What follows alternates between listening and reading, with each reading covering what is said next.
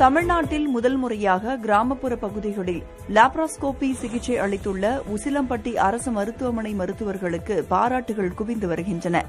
ஏ. ராமநாதபுரம் கிராமத்தைச் சேர்ந்த வீரம்மாள் என்பவர் வயிற்று வலி காரணமாக உசிலம்பட்டி அரசு மருத்துவமனையில் அனுமதிக்கப்பட்டார்.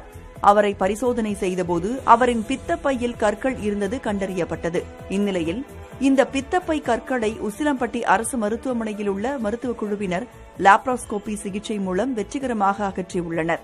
தமிழகத்தில் கிராமப்புற பகுதியில் முதல் முறையாக லாப்ரோஸ்கோபி சிகிச்சை அளிக்கப்பட்டுள்ளது குறிப்பிடத்தக்கது. சேலம் மாவட்ட ஆட்சியர் அலுவலகத்திற்கு துப்பாக்கியை கையில் வைத்தபடி வலம் வந்த பெண்ணால் அனைவரும் அதிர்ச்சியில் உறைந்தனர். அசம்பூர் என்ற சிற்றூரைச் சேர்ந்த விவசாயி பழனிவேல் தனது நிலத்தின் பாதுகாப்பிற்காக துப்பாக்கி உரிமம் பெற்று கடந்த இருபத்தைந்து ஆண்டுகளாக வைத்திருந்தார்.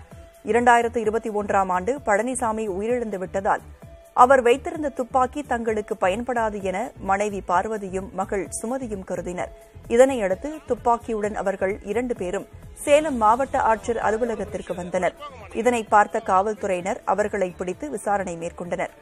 துப்பாக்கியை ஒப்படைக்க வந்துள்ளதாக தாயும் மகளும் கூறியதை அடுத்து அவர்களை ஆர்டிஓ அலுவலகத்திற்கு செல்லுமாறு கூறி அனுப்பி வைத்தனர்.